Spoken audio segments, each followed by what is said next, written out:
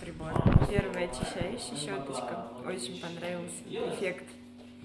А, лицо просто засияло свежестью.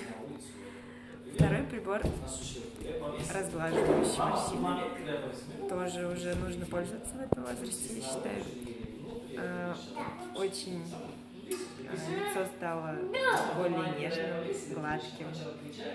Ну, можно самим увидеть результат на видео. Очень все понравилось, спасибо. Спасибо.